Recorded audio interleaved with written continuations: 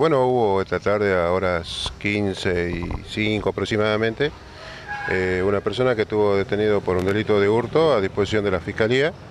Eh, se evadió del lugar, este, así que todas las otras cuestiones procesales está a cargo de la Fiscalía, así que esa es la información que, puedo aportar en este momento. Bueno, para que la gente seguramente quiera quizás colaborar, ¿por qué zona podría encontrarse?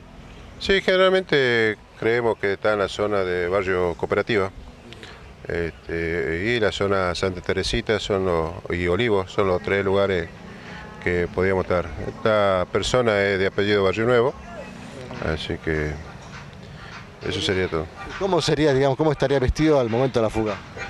Eh, al momento de la fuga estaba con una bermuda negra y, este, tenía el torso eh, desnudo, como también estaba descalzo. Bueno, si uno imagina que a esta altura ya debe tener alguna prenda de vestir, ¿no?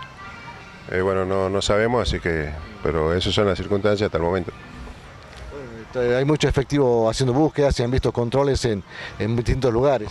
Sí, nosotros hemos dispuesto los controles a la salida y después los controles en los barrios. Hemos hecho varias diligencias procesales en diferentes domicilios y bueno, estamos en esa búsqueda. Bueno, para no crear una psicosis, ¿qué tan peligroso puede ser esta persona? No, el delito que estaba detenida esta persona es el delito de hurto, no, no es un delito grave.